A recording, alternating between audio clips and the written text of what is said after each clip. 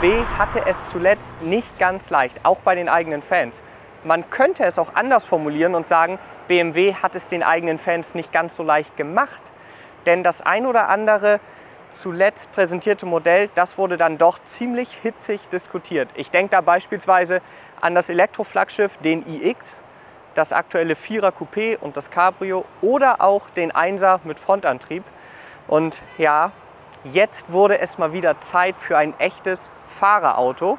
Und da hat BMW geliefert. Das hier ist das neue 2er Coupé, interner Baucode G42. Hier schön als Topmodell, vorläufiges Topmodell muss ich dazu sagen, M240i.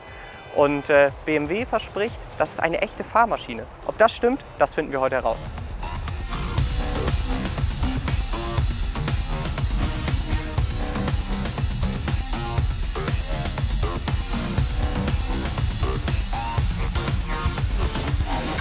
Bevor wir direkt reinspringen und losfahren, noch ein paar wichtige Fakten.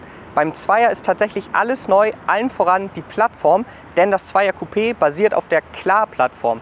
Das ist die gleiche Plattform, auf der auch der Dreier und der Vierer basieren, natürlich etwas anders skaliert, aber eine völlig andere Plattform als die des 1er und des 2er Active Tourer, das ist die UKL-Plattform. Und ja, das klingt jetzt alles kompliziert, ist aber wichtig, denn die Klar-Plattform bedeutet längs eingebaute Motoren und Hinterradantrieb. Und das sind doch schon mal zwei Pluspunkte. In diesem Fall kommt sogar noch ein dritter hinzu, denn unter der Haube des M240i, da steckt ein rein Sechszylinder und damit sollten die BMW-Traditionalisten doch schon mal beruhigt sein. Bevor wir jetzt losfahren, ich weiß, ich habe es versprochen, gehen wir aber natürlich noch auf die Optik ein, denn wir wollen ja auch sehen, wie dieses Fahrzeug aussieht. Und da muss ich gestehen, als ich die ersten Bilder des Zweier Coupés gesehen habe, da war ich mir tatsächlich so ein bisschen unschlüssig, was ich davon halten soll. Hat mir nicht so richtig gut gefallen, aber ich kann euch sagen, in echt sieht der wirklich gut aus. Hat BMW tatsächlich momentan ja, für mich so, so eine Designsprache, die auf Bildern teilweise nicht gut rüberkommt, ging mir mit dem M3 auch so. Aber in echt, jetzt wo ich davor stehe, sieht er auf jeden Fall gut aus. Also bevor ihr loshatet, schaut euch das Auto erstmal in echt an. Kommen wir zu den Details. Wir haben hier ein Zwei-Augen-Gesicht, angelehnt an den 2002, relativ schmale Scheinwerfer, serienmäßig in LED, optional adaptive LED-Scheinwerfer. Hier das Tagfahrlicht ist geschwungen, ist gleichzeitig auch der Blinker. Und dann kommen wir natürlich zum wichtigsten Feature an der Front. Das sind hier die Nieren. Und anders als beim Vierer sind sie ja, fast schon dezent. Es sind schmale Nieren, klein und in diesem Fall seht ihr hier, diese Details sind geschlossen, beziehungsweise diese Öffnungen sind geschlossen. Die können sich je nach Kühlluftbedarf öffnen. Hat BMW zwar schon länger, aber sonst eigentlich hinterstreben. Hier jetzt erstmals so. Gibt es übrigens auch, wer diesen, ja, diesen eloxierten Look hier nicht mag, auch in komplett schwarz. Ansonsten haben wir dreieckige Elemente hier am Lufteinlass beispielsweise. Eine sehr cleane Front. Wichtig noch, die Haube die hat einen ganz schön großen Powerdome. Da muss man mal genauer hinschauen. Das bricht tatsächlich so diese große Fläche von der Haube auf. Sieht richtig gut aus und diesen Powerdome, den hat übrigens nicht nur der M240i, den haben alle Modelle.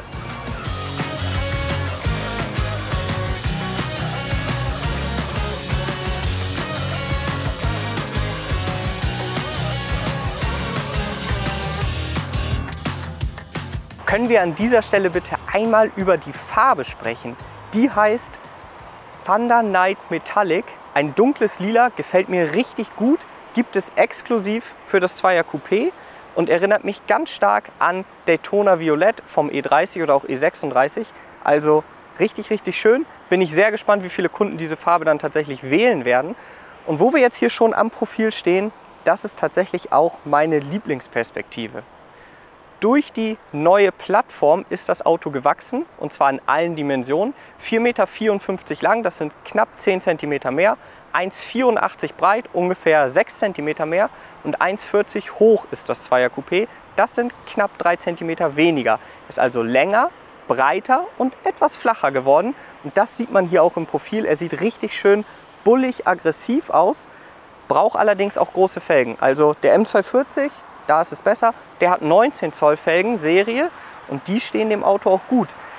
220i und 220d, die kommen auf 17 Zoll. Ich könnte mir vorstellen, die wirken fast schon ein bisschen verloren. Aber gut, 19 Zoll gibt es ja immerhin als Option.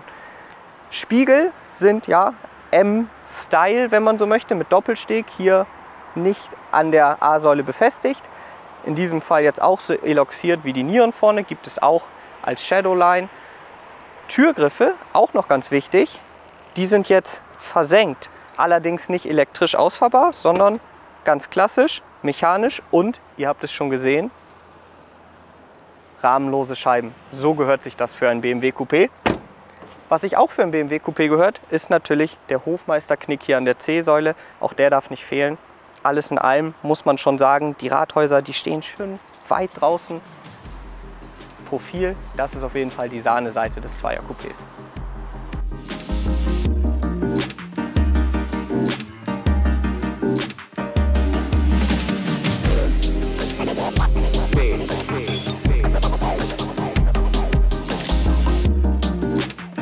Was die Front beim Vierer ist, das ist das Heck beim Zweier Coupé.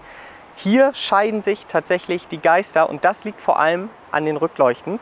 Die nehmen die Form der Scheinwerfer wieder auf, sind tatsächlich dreidimensional, also haptisch zu erleben, wenn man so möchte. Ja, ist Geschmackssache.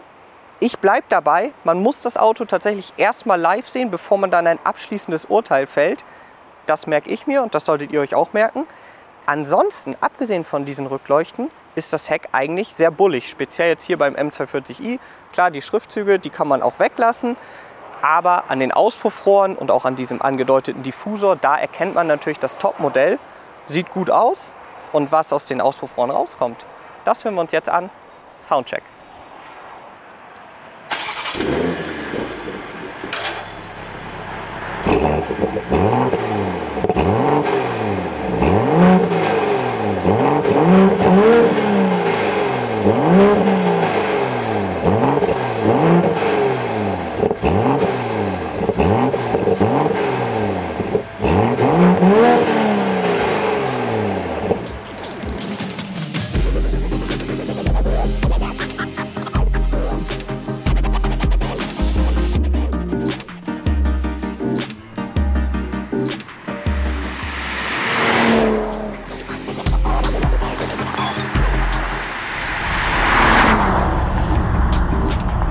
Unterwegs im BMW M240i und bevor wir jetzt direkt zu den Fahreindrücken kommen, vielleicht noch mal ein kurzer Eindruck zum Cockpit für alle, die das Vorstellungsvideo des Zweier Coupés von meinem Kollegen Peter noch nicht gesehen haben. Das solltet ihr unbedingt nachholen, lohnt sich, sehr informativ und auch sehr unterhaltsam, denn da könnt ihr sehen, wie ein 1,95 großer Redakteur sich hier auf die Rückbank zwängt. Und ihr habt gerade gemerkt, ich habe vergessen, Startstaub auszumachen. Das holen wir jetzt erstmal nach. So. Ja, Cockpit-Eindruck ganz klar kennen wir vom Vierer und auch vom Dreier. Ist bewährt und gut. Hier findet sich jeder zurecht, der mal in einem moderneren BMW saß. Es wirft wirklich keine Fragen auf. Die einzige Veränderung wirklich ist diese Fläche hier in der Tür. Heißt M-Akzentfläche und ist beleuchtet. Kostet 200 Euro Aufpreis. Ist ein nettes Gimmick ja, sieht ganz cool aus. Beleuchtet habe ich es jetzt noch nicht gesehen, ist halt hell draußen. Ja, wer das mag, der kann das eben für 200 Euro bestellen. Ansonsten schön tiefe Sitzposition. Wir haben jetzt hier die optionalen M-Sportsitze an Bord. Die kosten 900 Euro Aufpreis. Serienmäßig sind Sportsitze verbaut. Diese hier sind einfach nochmal ein bisschen besser konturiert. Vor allen Dingen jetzt hier so im Beckenbereich, aber die sind jetzt nicht so kompromisslos beispielsweise wie die Schalensitze im M3 oder M4. Also das ist nochmal ein deutlicher Unterschied. Hier eine ganze Ecke komfortabler, das muss man schon sagen. Dann vielleicht ganz wichtig, wo wir jetzt hier noch innerorts unterwegs sind und ich noch Zeit habe, äh, ein paar Fakten aufzuzählen. Ich habe ja noch gar nichts zum Motor bzw. zu der Leistung gesagt. Bisher habe ich ja nur gesagt, dass ein Reihen 6 Zylinder unter der Haube ist. Das stimmt auch. Und diesen Motor kennen wir auch schon. Den kennen wir nämlich beispielsweise aus dem M340i. Das ist der B58 Motor, ein 3 Liter Reihen 6 Zylinder, 374 PS und 500 Newtonmeter leistet der. Und den gibt es ausschließlich hier mit 8-Gang-Automatik. Für alle, die jetzt sagen, boah, ich hätte aber gerne einen Handschalter, kann ich verstehen, ist aber nicht. Und die 8-Gang-Automatik, die ist wirklich verdammt gut. Jetzt hier so im Komfortmodus, Automatik, komplett entspannt, wirklich zum Cruisen perfekt. Und wenn ich dann jetzt hier rübergehen würde, merkt man direkt, die ist hellwach, schaltet super zuverlässig. Also das ist ein richtig gutes Getriebe, da gibt es gar nichts dran auszusetzen. Nochmal kurz zurück zur Leistung. 374 PS, 500 Newtonmeter. Wenn wir da mal einen Rückblick wagen, beispielsweise in das Jahr 2015, das war das Jahr, in dem der erste M2 präsentiert wurde. Der hatte den N55 Motor an Bord, ebenfalls ein 3 Liter rein 6 Zylinder mit 370 PS und 465 Newtonmeter. Also 4 PS weniger und 35 PS. 4 PS und 35 Newtonmeter weniger. Und man darf nicht vergessen, hier kommt ja noch was. Das hier ist ja nur die Vorstufe zum M2. Also da wird BMW auf jeden Fall noch mal richtig einen drauflegen. Da bin ich gespannt drauf. Zum Fahrwerk lässt sich sagen, der M240i hat serienmäßig ein M-Sportfahrwerk an Bord. Wir haben jetzt das adaptive Sportfahrwerk, also mit verstellbaren Dämpfern an Bord. Jetzt sind wir hier auch schon auf einer Landstraße, da können wir zumindest mal hier in den Sportmodus schalten. Und mal ein bisschen schneller angehen.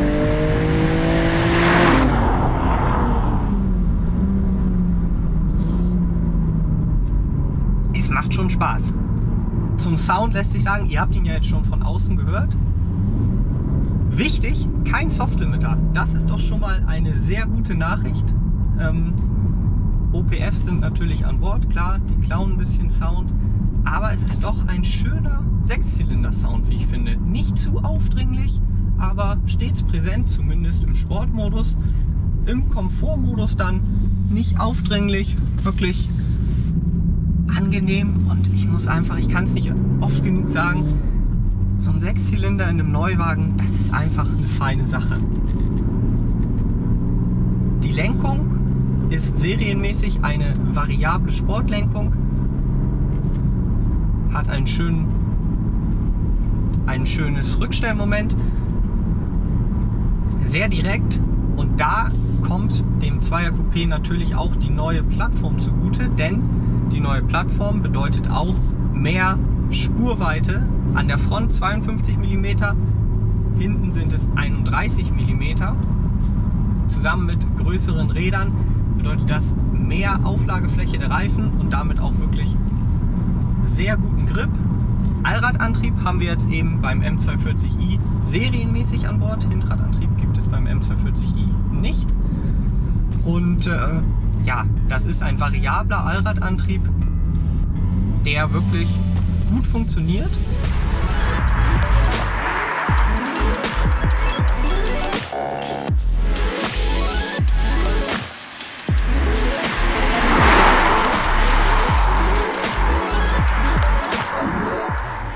Jetzt können wir hier nochmal schön durchbeschleunigen. Wirklich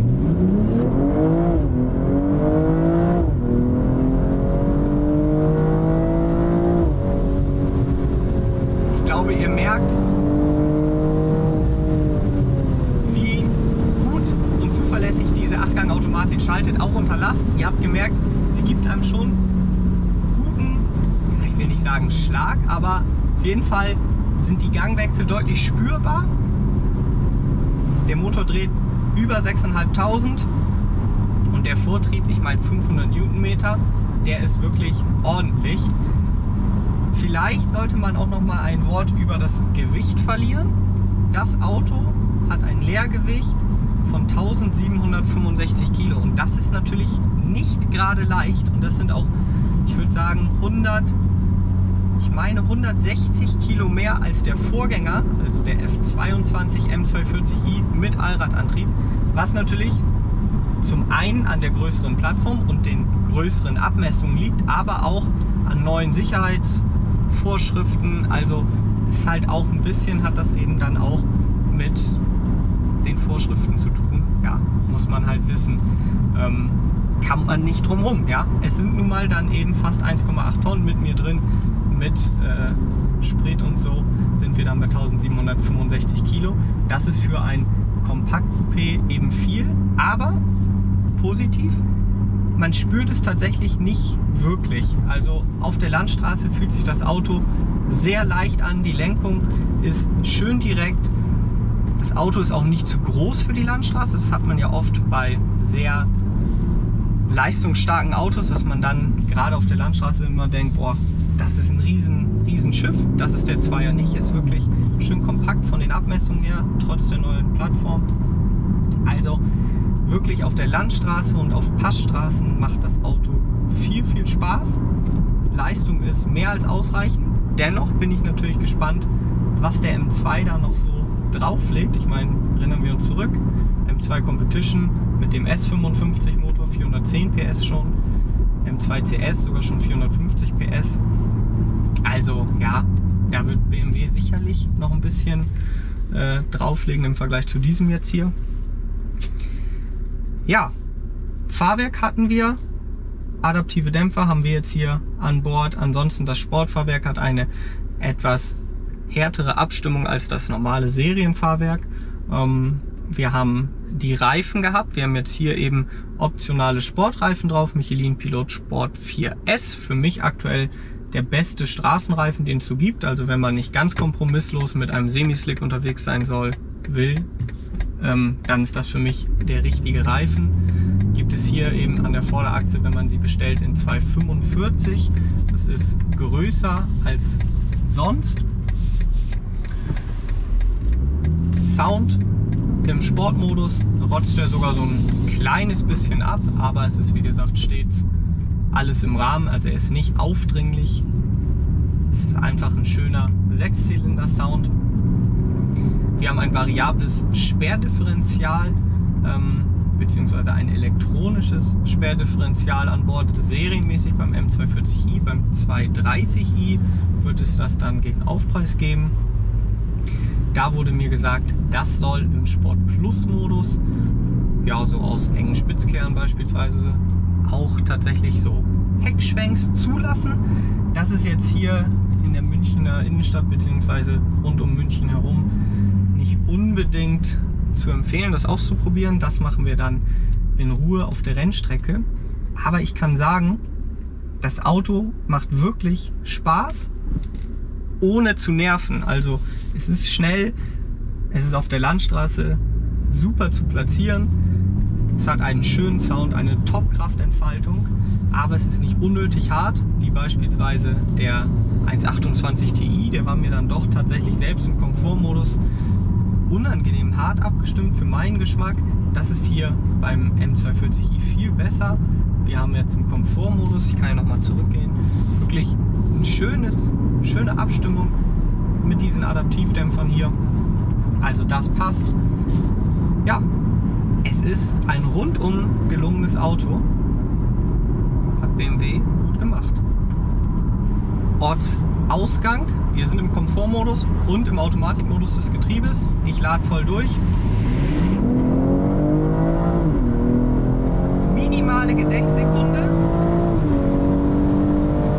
Aber dann merkt ihr, der Ganganschluss wirklich super schnell, steht meiner Meinung nach einem Doppelkupplungsgetriebe nichts nach, was die Schnelligkeit angeht, aber ist dabei deutlich komfortabler, was langsamere Geschwindigkeiten angeht. Also das ist wirklich gut. Jetzt schalten wir nochmal in den Sportmodus. Wir können mal ein paar schnellere Kurven fahren.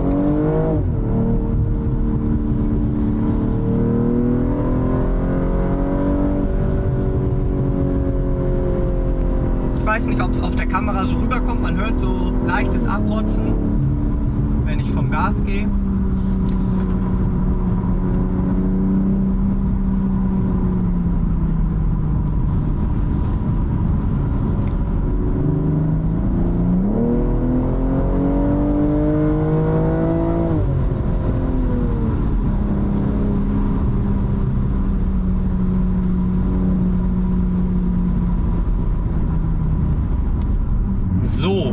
Haben wir jetzt vielleicht auch noch mal ganz kurz die Chance, die Launch Control auszutesten. Dazu gehen wir in Sport Plus, machen das DSC auf Traction und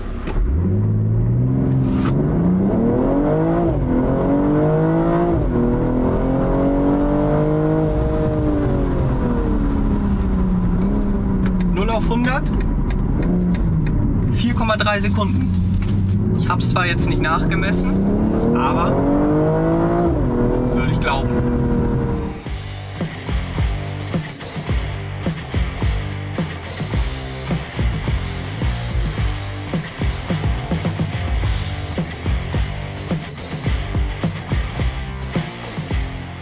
An dieser Stelle Chapeau an BMW für dieses Auto. Denn wir müssen einfach mal zusammenfassen, es ist kein SUV, kein Elektroauto, stattdessen ein zweitüriges Sportcoupé mit Verbrenner, rein Sechszylinder, Hinterradantrieb.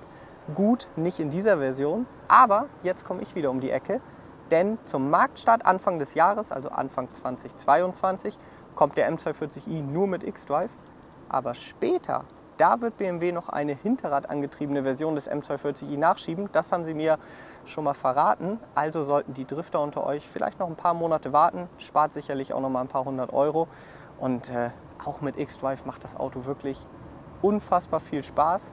Einfach cool, dass es solche Autos heutzutage noch gibt. Ähm, und man darf ja nicht vergessen, da kommt noch was. Es kommt ja noch ein M2 und ich bin echt gespannt, was BMW da noch machen will, um da noch einen draufzusetzen. Denn dieser Wagen, der M240i, ist ja schon leistungstechnisch auf dem Niveau des ersten M2. Wir haben hier mehr Leistung an Bord. Allerdings auch preislich sind wir fast auf dem gleichen Niveau. Der erste M2 hat Ende 2015 56.700 Euro gekostet. Der M240i kostet jetzt 56.000 Euro in der Basis. So wie er hier steht, ist er deutlich teurer. BMW hat zwar keine Preisliste reingelegt, aber ich habe mal für euch nachkonfiguriert und ich bin bei 71.990 Euro gelandet, wenn ich denn nichts vergessen habe. Und das ist natürlich eine Hausnummer. Ob einem ein Spaßauto so viel Geld wert ist, das muss jeder für sich selber entscheiden. Ich kann nur sagen, es ist definitiv ein Spaßauto, definitiv eine Fahrmaschine. Ich bin einfach dankbar, dass es solche Autos gibt. In diesem Sinne Falls euch das Video gefallen hat, ihr wisst, was zu tun ist. Und ich würde sagen, wir sehen uns beim nächsten Mal. Bis dahin, ciao, ciao.